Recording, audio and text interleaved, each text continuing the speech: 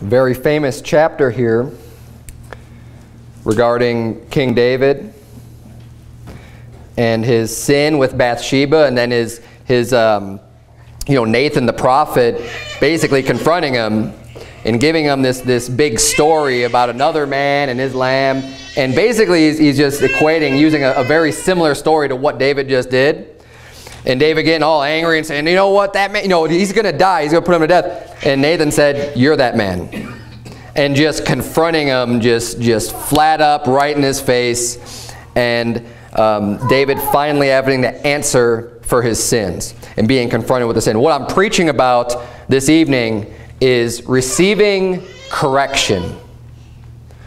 David needed to be corrected. He needed to be confronted with a sin. Now, obviously, there's a horrible sin. It's a grievous sin. I mean, the sin of committing adultery and murder. And notice in this chapter, God doesn't hold back from him.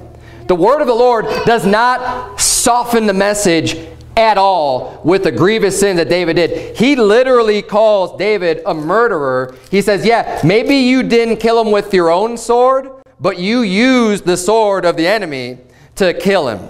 And it was his orders. If you remember the story, David is the one that sent the death orders by Uriah's own hand. He was that faithful of a servant unto David that David was able to write out the orders saying, send him into the hottest part of the battle and then retreat from him and let him get killed in the battle. And he sealed that note and he put it into the hands. That Uriah unwittingly was carrying his own death sentence, but he was so faithful. He didn't open it up, didn't buy a look, wasn't any of his business. He was a messenger, brought it to Joab. And of course, Joab um, didn't exactly carry out David's plan because other people, he didn't just completely retreat from him, but he did, you know, Uriah did end up dying as a result, and, and it was from David's order. So David was the murderer. And notice, there's, a, there's multiple things I want to teach on today, and, and this all is, a, is an important part of receiving correction. We're a church here that and the way that, that I preach, a lot of people get turned off, they get ruffled feathers, and you notice in the announcements there's this red hot preaching conference coming up. And oftentimes it's referred to as hard preaching or hot preaching. And the reason why, you know, I'll preach on the hellfire and damnation. I'll preach on the sins of the Bible that the Bible calls out as wickedness and sins. Why? Because we're all sinners, first of all, and we want, we ought to be coming to hear God's word so that we could repent, so that we can get right with God in whatever area that may be. We all need correction. Okay, who, who here is perfect? Have you just got everything laid out? You don't sin anymore? Yep, got it all taken care of. You know, I don't even need to read the Bible anymore. I know what it says everywhere. No one's like that. We know that. I mean, otherwise we'd, we'd crown you Jesus Christ, right? And, and that would be ridiculous. Of course, we know we're all sinners. We know we're all in need of correction. Amen. And the way that we do things here is I try to be as, as scriptural and as biblical as possible. And we have an example here of Nathan approaching David. And he doesn't hold back. He doesn't, he doesn't try to soften it up at all. He's just saying real bluntly, look, David, here's an example. Here's, you know, I'm going to give you this, this, this story of, of a man and. And when he's all done with it and David already pronounces the judgment, he says, that's you. You're that guy. We need to be able to, when you hear Bible preaching, one of the most important things you have to be able to understand if you are the person that needs correction.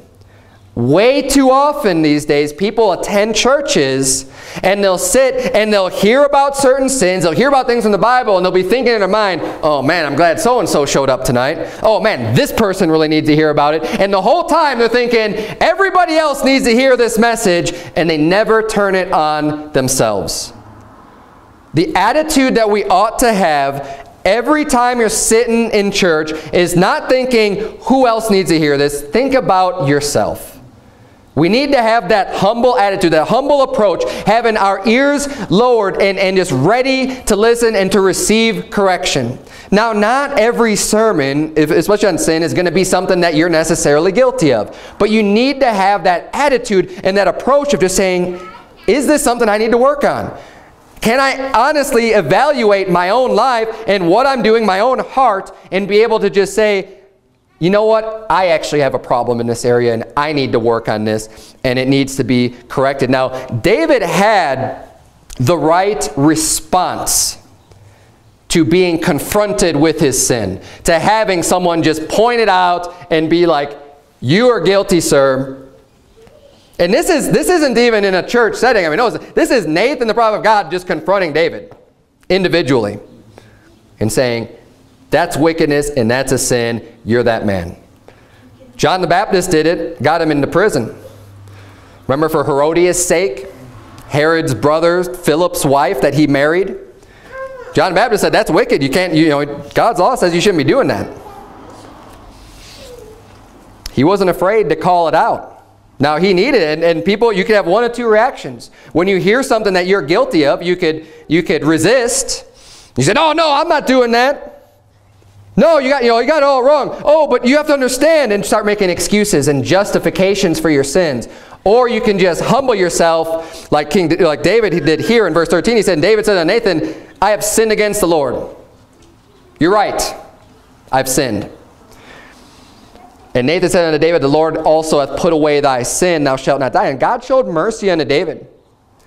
Now these sins are grievous. Adultery by itself is guilty, is, is worthy of the death penalty according to God's law. That's bad enough of a sin for, for that person to deserve death. That's how grievous and serious it is. But not only did he do that, he also had Uriah the Hittite killed, making him a murderer. So twice he's guilty of murder. Yet God, for whatever reason, I mean, his long suffering and love and mercy extended that mercy unto David. Now, he didn't go unpunished. Right. By any means, he did not go unpunished, but he spared David's life. The life of the child, as we saw here in this chapter, God said, that child's going to die. And that is a direct repercussion of David's sin. And it's a good example showing you that when we get into sin, it affects other people. Yeah. And a lot of people have a problem. They'll say, well, wait a minute, that child didn't do anything wrong. And they'll try to blame God for, for causing this evil and this harm to come upon this child. And then they say, God, how could you do this? You're an evil God. You're a wicked God. And that's what the atheists will try to say and people who hate God will try to say. But they don't realize that God is not the cause of that. He's carrying out the, the, the just recompense that, that he sees fit but it's David's fault. It's not God's fault that, that, that David went and committed adultery and that Bathsheba was, was with child as a result of that sin and that that child had to die. It's David's fault for those things. It's not the Lord's fault. And another interesting here, as long as we're in this chapter, I like to bring this up. It's a good place to highlight in your Bible for people who don't understand whether or not, you know, a lot of people have problems with um, with like this Calvinist doctrine of people being foreordained to even heaven or hell and, and like God picks and chooses who's saved or other people who think that you have to be baptized in order to be saved. This, this uh, passage is very clear that babies, infants, you know, children that die go to heaven. And here's where it says that, just, just so you know, it's not what the sermon is about, but look at verse 23. This is David explaining because they're, they're wondering like, wait a minute, you were fat. Like they were afraid to even tell him that the child had died because he was so just weeping and fasting and just not eating anything. You know, no one even wanted to approach him. And they're thinking, wow, like he's already this upset. What are we going to do and tell, you know, how are we going to tell him that the baby died? But then after they told him, he got up, you know, he, he cleaned up and he was able to sit down then and have a meal. I mean, he was fasting because he was praying unto God. And he explains, he's like, look, while the baby was alive, there was still a hope that God could still extend some mercy on this child and the baby would still live. He said, that's why I fasted and, pray, you know, and, and was doing everything I was doing. He's like, but now the baby's passed on. I mean, there's nothing I can do about it anymore. There's no reason to continue to entreat the Lord to show mercy once the child's already passed. And he explains this in verse 23. He says, But now he is dead. Wherefore should I fast? He said, Why should I fast? Can I bring him back again? And then he says this, I shall go to him, but he shall not return to me. Now, David knew that he was saved. He knew that he was a believer on the Lord. He knew that his faith was in God. He knew that he had eternal life. And the only way he could make that statement on knowing whether or not the child You know, like how else is he going to go to him? If the child could have possibly gone to hell, David knew he wasn't going to hell. So if, for him to say, I'm going to go to him, but he's not going to return to me, he knew that he would be with the child in heaven. He knew that that's where the child went. And there's other, you know, I've preached actually an entire sermon on this subject. I'm not going to do that today, but this is one of the, one reference. It's not the only reference. It's a good reference to have, though, to show that, you know, the baby didn't need to be baptized to go to heaven. And God doesn't just, just arbitrarily pick and choose people to, to that you're saved, you're not saved. It is, um, you know, this child was still innocent because it had not um, commit any sins of its own that it could be held accountable for. So, um, and that's a whole other topic of original sin. I'm not going to get into that tonight, but let's, um, in uh, Proverbs chapter 15, because we're talking about receiving correction tonight, being able to handle being rebuked when you're wrong. Now, David's sin was serious. Hopefully, nobody in this room would ever get into that serious of sin. I, I pray to God that that doesn't happen. But we all do have our own sins. And no sin should be just taken lightly because it's not taken lightly in God's sight. All sin, according to the Bible, is worthy of a punishment of hell, of eternal torture and torment and a fiery hell.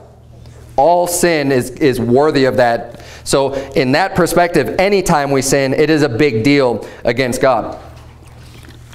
So we need to be ready to hear and to listen to be able to accept reproof. The Bible says in Proverbs 15 verse 31, the ear that heareth the reproof of life abideth among the wise. He that refuseth instruction despiseth his own soul, but he that heareth reproof getteth understanding. It's basically saying, look, if you can hear reproof, if you can take it, if you can allow someone to correct you, you're living with the wise people, that you are a wise person to be able to accept that. And the guy that refuses instruction, you can't tell him what, you can't tell him where he's wrong. He despises his own soul. It's only going to lead to your own destruction if you can't be corrected. If you can't accept some godly correction, you're going to continue in your error. And nobody ought to be so proud to think that they're above reproof. They're above correction myself included. Look, we all need to be able to humble ourselves when we are in error somewhere to be able to receive a correction. Proverbs 29, 1 says, He that being often reproved hardeneth his neck shall suddenly be destroyed, and that without remedy.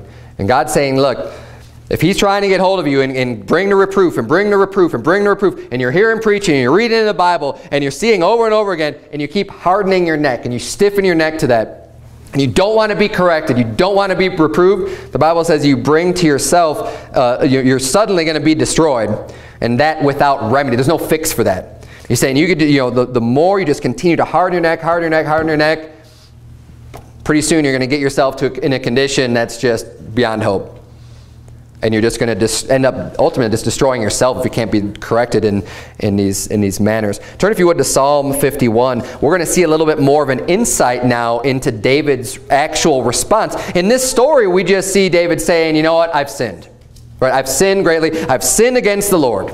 And he acknowledged his sin as soon as he was confronted with it. But Psalm 51 really gets to the, David's heart of the matter uh, and, of his repentance and how he felt about this sin and what was going on inside of him. We see this, uh, this great psalm, Psalms 51. We're actually going to read the whole thing because this is something, and keep this in mind as we're reading the scripture. This is the attitude that we ought to have when we realize that we've been in sin.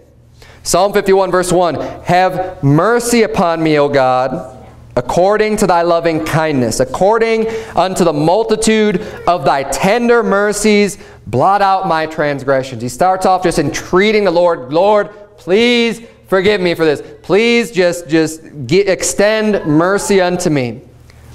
Wash me throughly from mine iniquity and cleanse me from my sin. For I acknowledge my transgressions and my sin is ever before me. And this is the first step that a lot of people are unwilling to take is just acknowledging their sin. Most people don't want to admit that they've done wrong. It's a big step. It's a first step. You have to be able to take that though. You have to be able to look at this and say, you know what? yes, I failed. I've done wrong. And then you go to God seeking his mercy and seeking that, that forgiveness that can only come from the Lord. You have to acknowledge the transgressions. Verse 4, Against thee, thee only have I sinned and done this evil in thy sight, that thou mightest be justified when thou speakest and be clear when thou judgest. Behold, I was shapen in iniquity, and in sin did my mother conceive me. Behold, thou desirest truth in the inward parts, and in the hidden part thou shalt make me to know wisdom. Purge me with hyssop, and I shall be clean. Wash me, and I shall be whiter than snow. Make me to hear joy and gladness, that the bones which thou hast broken may rejoice. Hide thy face from my sins and blot out all mine iniquities. Create in me a clean heart, O God, and renew a right spirit within me. Cast me not away from thy presence, and take not thy Holy Spirit from me. Restore unto me the joy of thy salvation, and uphold me with thy free spirit. Then will I teach transgressors thy ways, and sinners shall be converted unto thee. Deliver me from blood guiltiness, O God, thou God of my salvation, and my tongue shall sing aloud of thy righteousness. O Lord, open thou my lips, and my mouth shall show forth thy praise. For thou desirest not sacrifice, else would I give it. Thou delightest not in burnt offering. The sacrifices of God are a broken spirit, a broken and a contrite heart, O God, thou wilt not despise. That's what he wants to come out of you when you're sinning, when you have done wrong, to just be broken and to admit and just say, God, I'm sorry and to mean it, not just give lip service, but just to honest to goodness in the bottom of your heart, be broken and say, God, I'm sorry. I've done wrong, Lord, and you know, there's nothing I can do. Just please extend mercy unto me. I, I you know, I, I, won't do again. Renew a right spirit within me. Renew my heart. Help me to do what's right, dear Lord. I want to do what's right, and I'm sorry for what I've done that's wrong. He says in verse 18, Do good in thy good pleasure unto Zion. Build thou the walls of Jerusalem. Then shalt thou be pleased with the sacrifices of righteousness, with burnt offering and whole burnt offering. Then shall they offer bullocks upon thine altar. Now,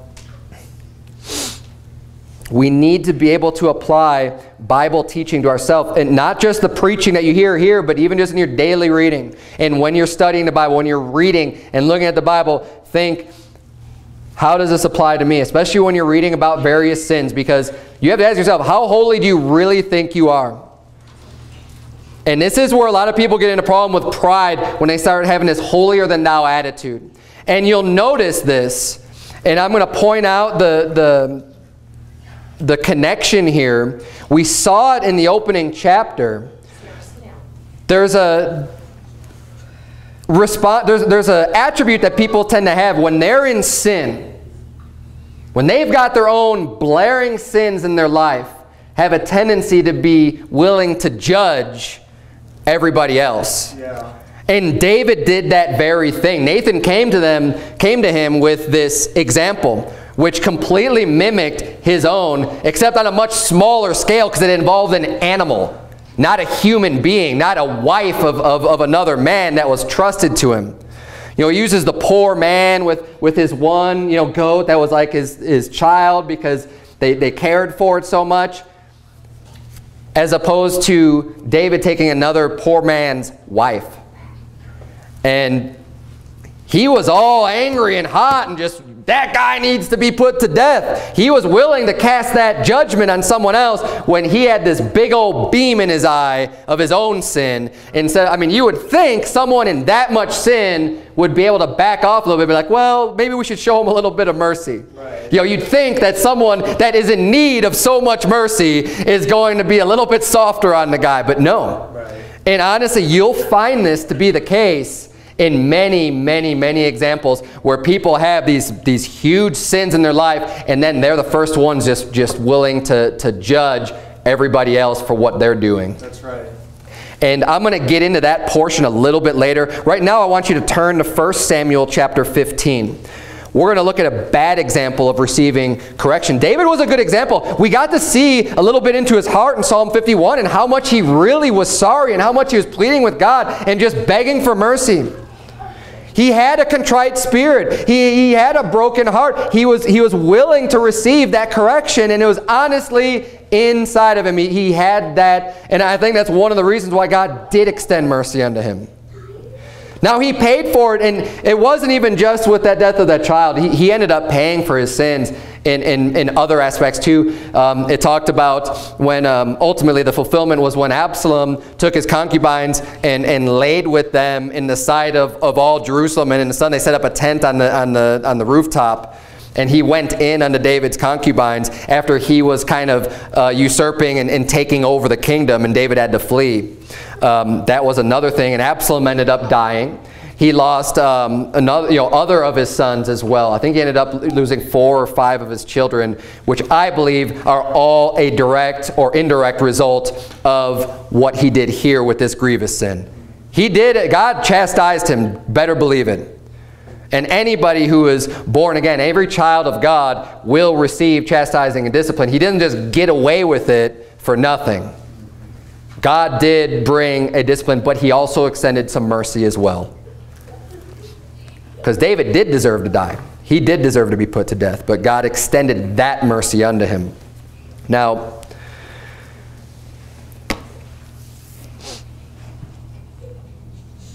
just consider within yourself, you know, as we look at this and as you read this, you know, when's the last time you've apologized to God and felt remorse for some sin in your life? I mean, just, just think about that for a minute right now on, on your own personal life where you have thought, you know what, I'm in sin here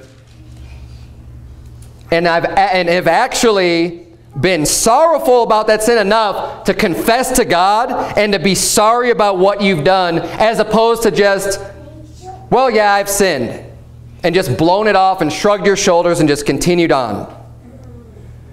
God doesn't like that type of an attitude. We ought to have more respect for God's laws and His commandments for us in our life to be able to, to feel sorry for when we do wrong.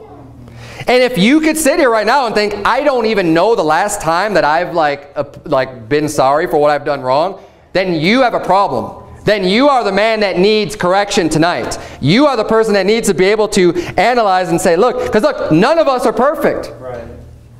And I know that for a fact. You, everybody has sin, myself included, and we need to be able to, and look, there are times when you may be doing all right throughout the day or the week or whatever, but there's times when you know you sin. When you know you've done wrong. You know there's something you should have been doing and you didn't do it. And we ought to be grieved in our heart and humbly and meekly apologize to God and have a sorrowful spirit.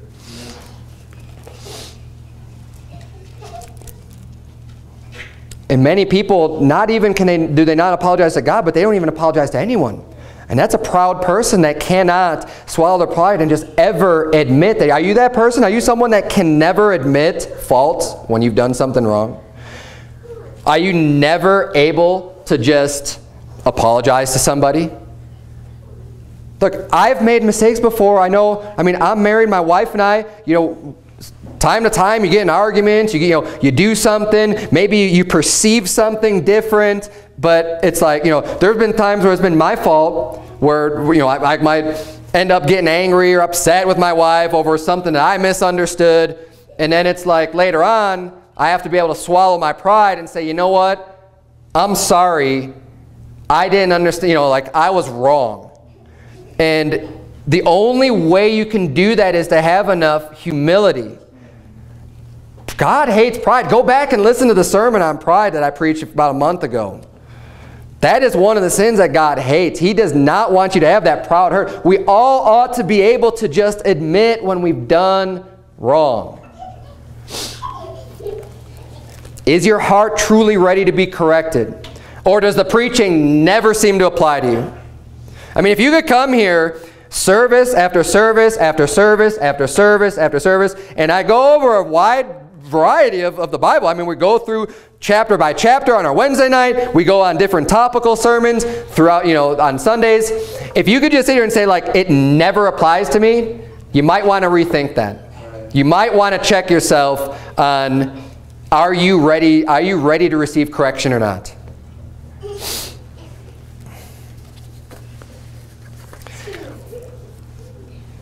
Let's look at the bad example of King Saul. King David was a great example of someone who had humility, of someone who loved God. And, and yes, he committed horrible sins, but he was able to, to honestly, from his heart, just completely be disgusted with his own self and, and, and, and beg for mercy upon God and show the repentance that he had over what he did and then continue with his life and still end up being successful.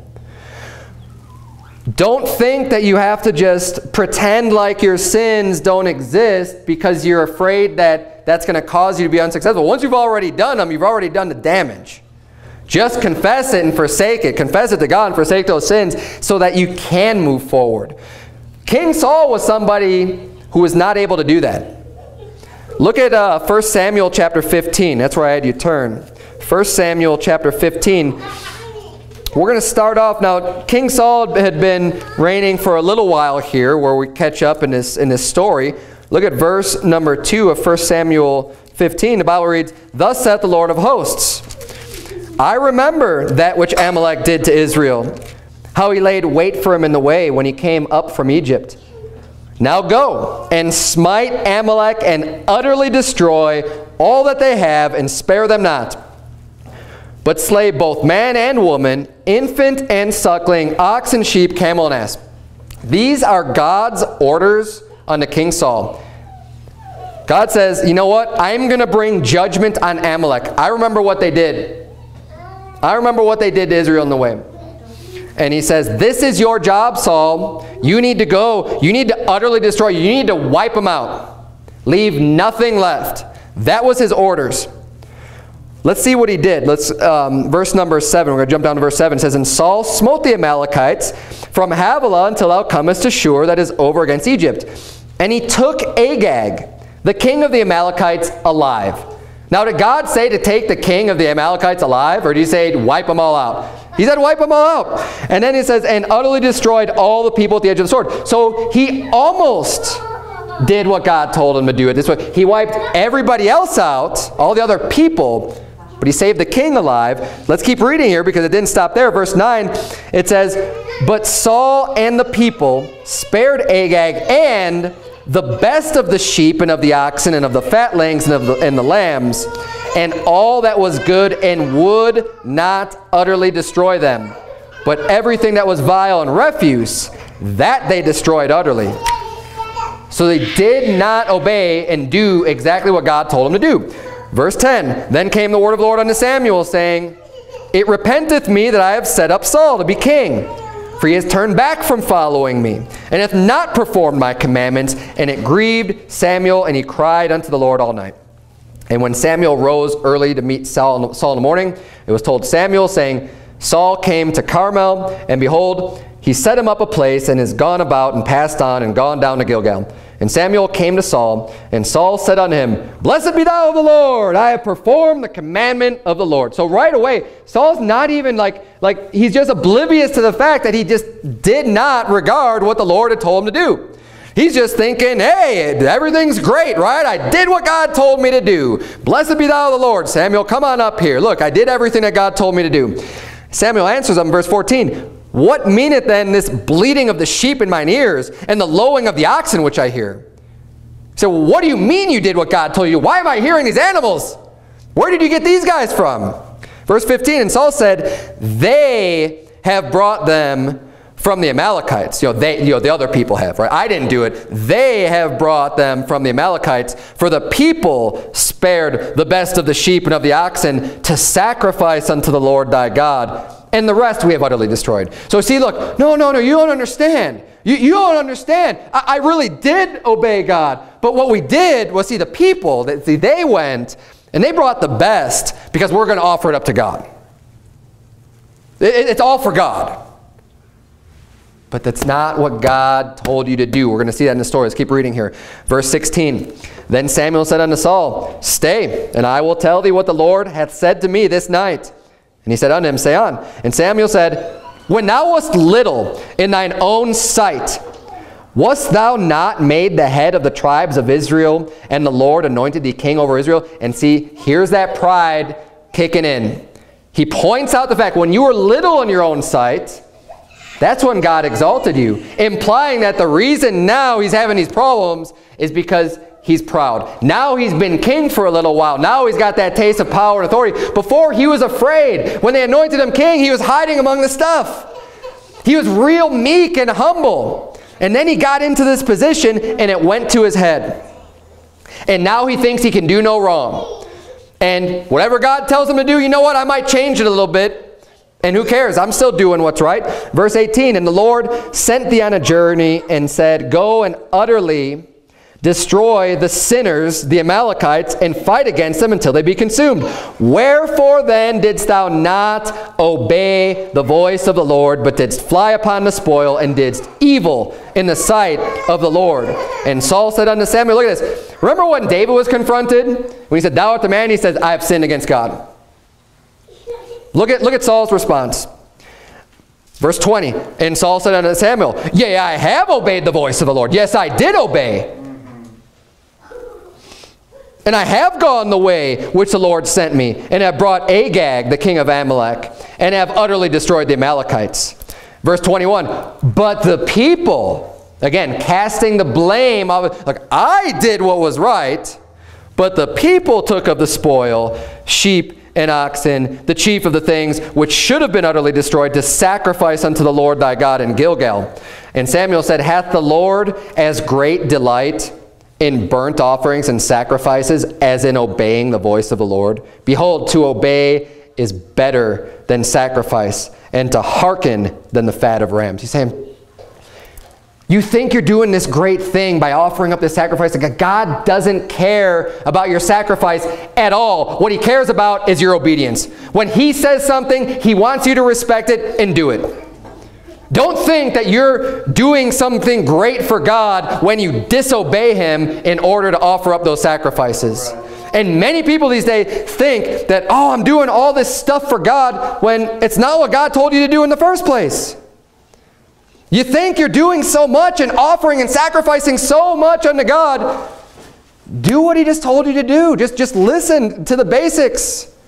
Obey what he has for you to do because he's going to have a lot more pleasure out of you being willing to listen and obey what he says, then he has pleasure over how much money you drop in the offering plate, for example. He doesn't care the dollar, you know, what you're throwing in if you're not just being obedient to him and listening to him.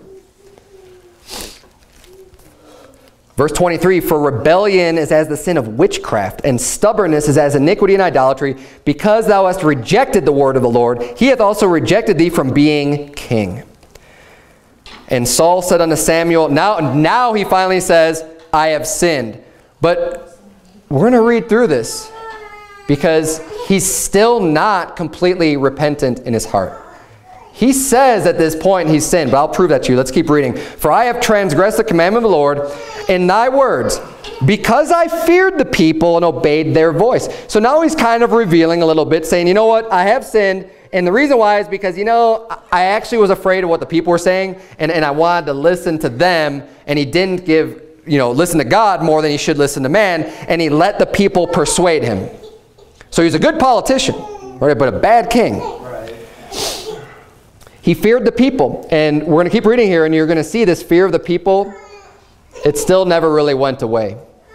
He needed to fix this problem, but he didn't. Verse 25, Now therefore I pray thee, pardon my sin, and turn again with me, that I may worship the Lord. And Samuel said unto Saul, I will not return with thee, for thou hast rejected the word of the Lord, and the Lord hath rejected thee from being king over Israel. And as Samuel turned about to go away, he laid hold upon the skirt of his mantle, and it rent.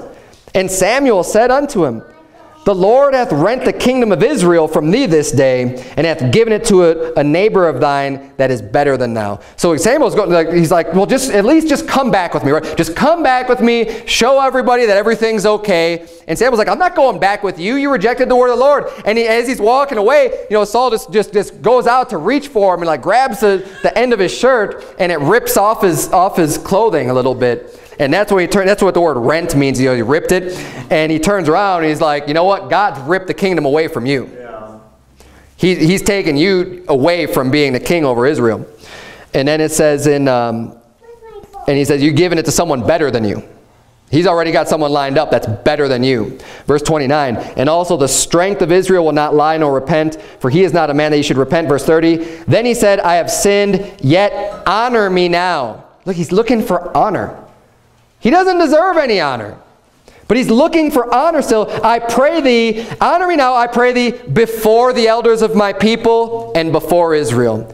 The same people that were causing him to sin he still, he had a fear of the people, which is supposedly why he didn't wipe everything out, why he let them to bring in all of the best of the sheep and the best of the oxen. And now he wants to still look good in front of the elders of the people and before Israel because he still cared more about how he looked in the sight of the men than how he looked before God. The repentance wasn't there he didn't fully get it and, and, and, and change his ways and have a broken spirit like King David did.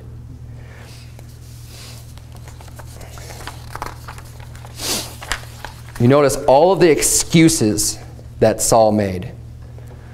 Oh, no, no, I did, I did do what was right.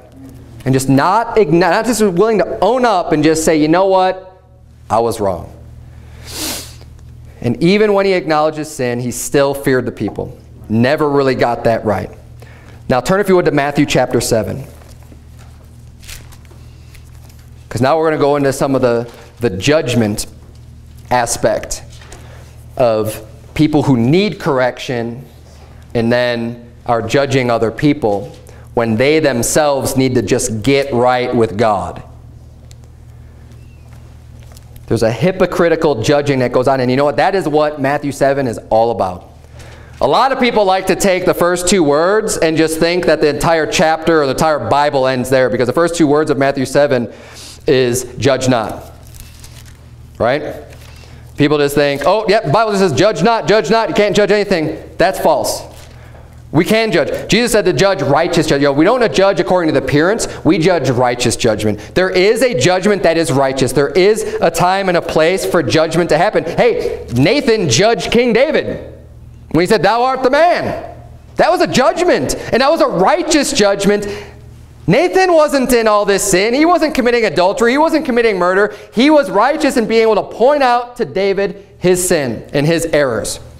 You, it's not that the Bible says you can never judge. Let's read Matthew 7 to see what it's actually teaching, what Jesus Christ himself was actually teaching about judging. Verse, uh, verse 1, Judge not that ye be not judged. For with what judgment ye judge, ye shall be judged. And with what measure ye meet, it shall be measured to you again. So what he's saying here is, you know, if you don't want to be judged, then you shouldn't be judging because the same judgment, the same application that you make to someone else, it's going to be brought back on you. So if you're willing to make a judgment on something or on someone, you better not be guilty of the same exact thing because that same judgment's going to come right back around on you. That's exactly what this is teaching here is that, hey, go ahead and judge, and whatever judgment that you use, it'll come back to you. Verse 3, And why beholdest thou the mote that is in thy brother's eye, but considerest not the beam that is in thine own eye? Or how wilt thou say to thy brother, Let me pull out the mote out of thine eye, and behold, a beam is in thine own eye, thou hypocrite? First cast out the beam out of thine own eye, and then shalt thou see clearly to cast out the mote out of thy brother's eye. And those are kind of older words, uh, mote and beam, but like a mote is just a much smaller, you know, piece of wood or whatever kind of stuck in your eye. Obviously, if you've ever had anything stuck in your eye, it's not comfortable at all. But he's saying, okay, here's a person that has, they've got a little problem. They've got this small problem. Now, it's, a, it's kind of a big deal on your eye. You know, it, it causes a lot of, a lot of pain and, and discomfort and everything else. But you've got this small problem. And then you've got this other person they don't have this little, they've got a big, I mean, they've got this big rod, this big pole just coming out of their eyeball, right? And they're saying, well, let me help you out with that. That's not the person you want helping you out with your little problem. they can't see clearly themselves. And this is the illustration that he's giving. He's saying, look, don't be a big hypocrite. You know, if you, you know, first get your own house in order. You know, if you're the person that's got all these various sins and all this, you know, major, you know, adultery and murder like David, you have no right to be judging other people on much smaller matters.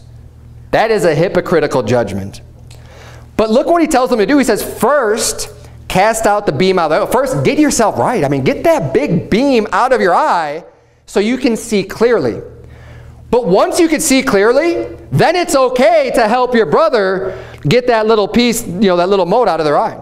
And that, that is okay because now you're not being a hypocrite and now you're helping them. And honestly, any rebuke should be with the motivation of correction, of doing what's right. Someone doing something in error versus doing something that's right. It's not mean. It, it shouldn't be mean. I mean, you should be able to, to, to be able to rebuke somebody in, in a humble way or in a, you know, in a meek way, in a way where um, you can get the message across you know, in, a, in, a, in as loving as a way as, as possible to be able to let someone know, hey, but you know, if they're wrong, they're wrong.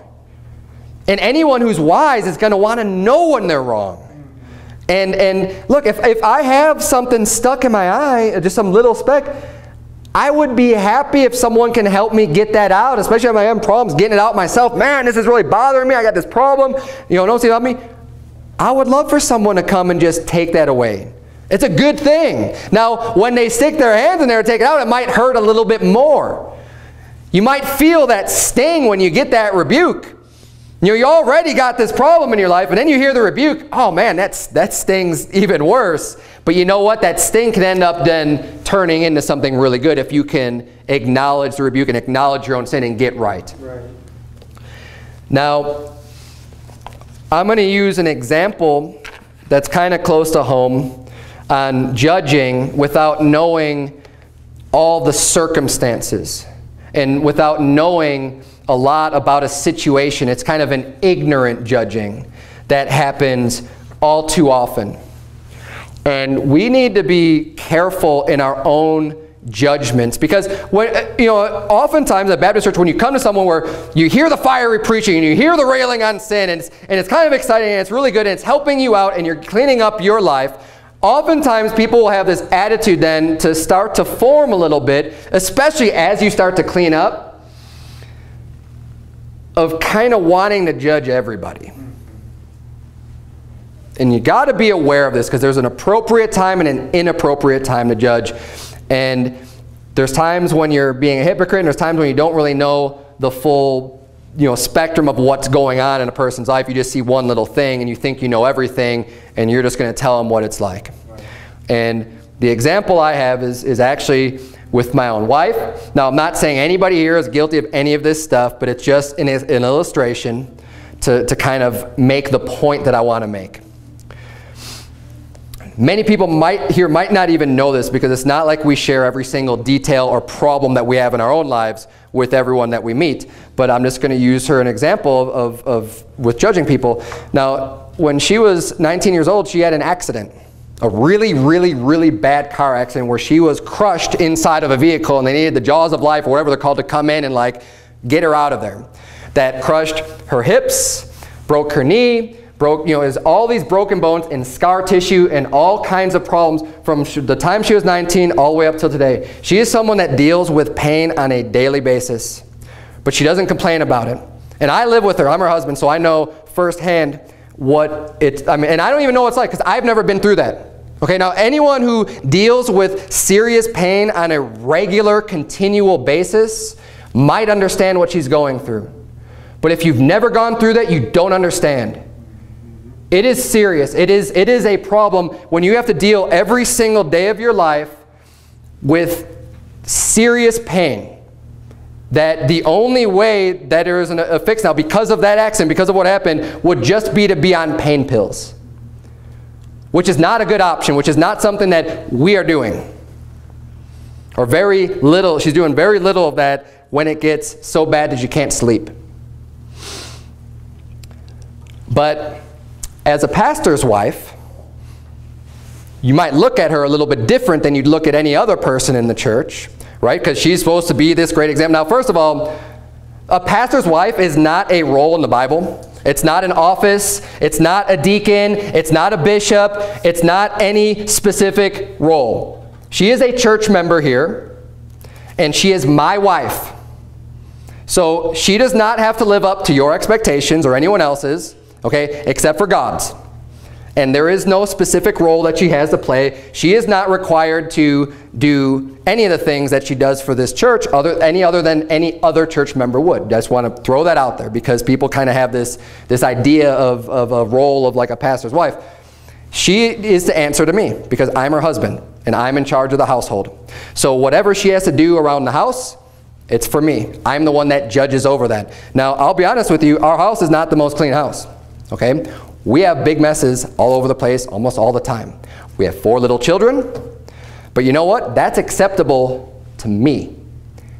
I know her situation. I know what she's capable of doing. I don't put a bar of a standard up of you need to have all this stuff done, knowing that she is in a tremendous amount of pain.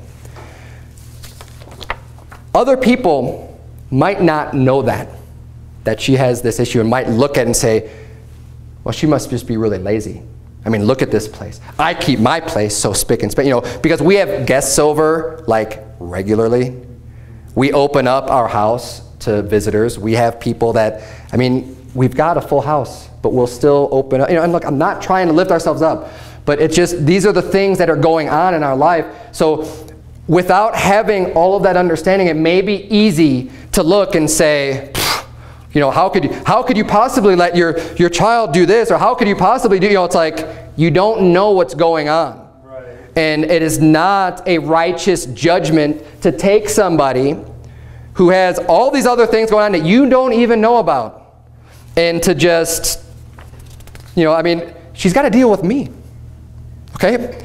And I have a full-time job and I passed her full time. So it's not like she's getting a whole lot of help around the house for me. She's got to raise the four kids, feed them, teach them, train them, clean the house, do all this stuff, and then do the things that I have for her to do also. So she has no obligation or no role for anyone else but me. And I am the one that is in judgment of that. But see, unfortunately, a lot of, and, and, look, I'm not, I am not accusing anybody here of any of this. I'm not even saying that this is like happening. It's just an example of how easy it can be from the outside to look at somebody or maybe to come over to our house sometime and be like, oh man, what's, you know, like, what's going on here? She must not do anything. What does she do? Just sit around all day? You know, and have that type of a judging attitude. Right. Instead of just looking at your own self, I mean, hey, that, that, that, should, be, that should be no problem for anybody anyways. Right. And there's areas of judgment where like, if it doesn't affect you at all anyways, like, don't worry about it. but the areas that we talk about judging and righteous judgment is something where someone is in some serious sin that it's, it's going to be self-destructive, that it's not good for them. I mean, someone, you know, drinking and smoking and whatever. I mean, I can list off all kinds of sins that we know are sins from the Bible. But let's keep to that type of a judgment. And some things are inexcusable regardless of the circumstance right? But other things, so I gave up a circumstantial situation where, okay, well, not everybody knows this. But it's something that, you know, you don't want to get the wrong idea and the wrong judgment on someone because you don't know all the details. There's other things when it comes to just serious sins. I mean, like David and, and committing adultery. I mean, if he started to make these, well, you know, I mean, she was, she was out there and I saw her. I mean, she shouldn't have been out there and just casting the blame off. No, you shouldn't have done that. That was wrong and that was wicked, and that's where the righteous judgment comes in. We need to keep this, this the, the proper mentality of judging to be able to make the righteous judgments and not just be so nitpicky on everybody else and everything else that they're doing and be able to focus more on ourselves. Now, if someone needs, look, if a brother needs correction, you know, do it properly. And, and hopefully we can help them out. But I have a, a, tendency to think that there's, there's oftentimes a lot more judging that goes on than is necessary. In, uh, in 1 Corinthians 11, it talks about the, the Lord's Supper. And it's, you know, Paul's teaching that, you know, if you, if you eat or drink of the, the bread unworthily, then you're going to bring damnation upon yourself.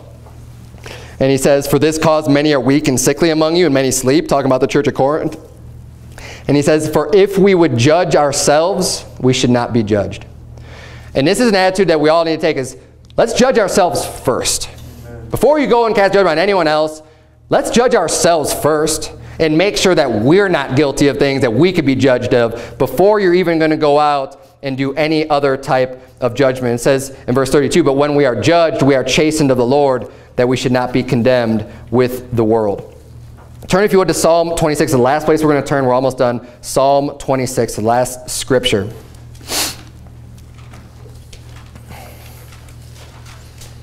We need to be able to look upon ourselves and be able to, to, to judge ourselves. Oh, and uh, one more thing I almost forgot. When it comes to judging righteously and the mote versus the beam,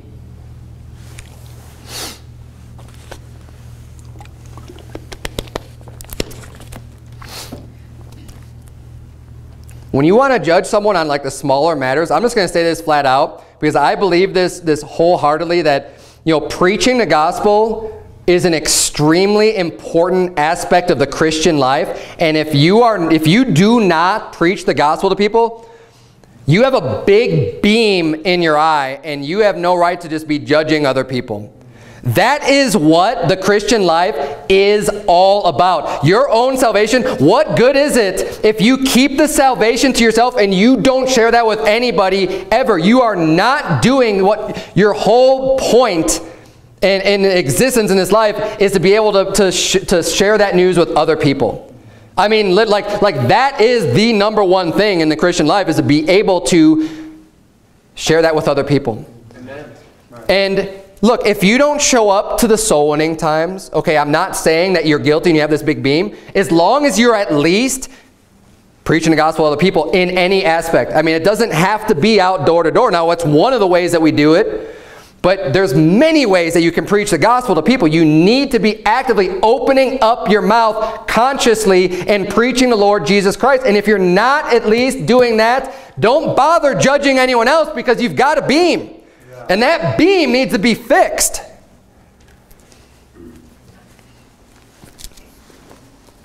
And if you realize today that I have this beam because I never preach the gospel to anyone, you know what? Amen if you could recognize that and show up, speak to me personally, I will help you to the best of my ability so that you can get that beam out of your eye and be able to preach the gospel to somebody else. I will, I will do whatever it takes to be able to help you in that area of your life. But it's up to you individually if you have recognized for yourself that it's a problem to be able to, to admit it and just, just say, you know what, I want to fix that. Okay? Because if you don't want to fix it, no one's going to be able to help you. You need to have the humble heart that's ready to receive the instruction. And the instruction's here. I'm, I'm, I am available completely to help you with that. Psalm 26. As we read this, this is, this is another Psalm of David. Think about if you would be able to, and Psalms are songs, right? Can you sing this psalm unto God and mean it from the bottom of your heart? Psalm 26, verse 1. Judge me, O Lord. Would you even want to say that to God? Judge me. Are you that confident in your walk where you can just confidently call to God and say, God, judge me? Judge me, O Lord, for I have walked in mine integrity. I have trusted also in the Lord. Therefore I shall not slide. Examine me, O Lord, and prove me. Try my reins and my heart, for thy loving kindness is before mine eyes, and I have walked in thy truth. I have not sat with vain persons, neither will I go in with dissemblers. I have hated the congregation of evildoers, and will not sit with the wicked. I will wash mine hands in innocency, so will I compass thine altar, O Lord, that I may publish with the voice of thanksgiving and tell of all thy wondrous works. Lord, I have loved the habitation of thy house and the place where thine honor dwelleth. Gather not my soul with sinners, nor my life with bloody men, in whose hands is mischief, and in their right hand is full of bribes. But as for me, I will walk in mine integrity. Redeem me and be merciful unto me. My foot standeth in an even place, and the congregations will I bless the Lord. What a great psalm. And, and to be able to with sincerity in your heart, be able to just go to God. to God, try me, judge me. Lord, I think I'm doing what's right. God, God, you tell me. You know, reprove me. Look at what I'm doing. Am I not walking in integrity? God, help me out. Show mercy unto me, but but show me the show me the way. And hopefully you're at that point. You know, I, I, would to God that everybody is to be able to say, you know what, I think I'm doing like everything right to the best of my ability. Then go to God and say, God, try me, prove me, show me where I'm wrong. If you think that everything you're doing is right, then just go to God and say, God, help me out here because I'm not seeing it. There's something that I'm missing because I know I'm not perfect, but I can't see where I'm not doing well or I'm not doing what's right, where I need to change, where I need to fix things. Try me, God. It's good. It's, it's, a, it's, a, it's a great, a great uh, way to approach the Lord. I mean, hey, I mean, you know, hopefully we can get to that point. Now,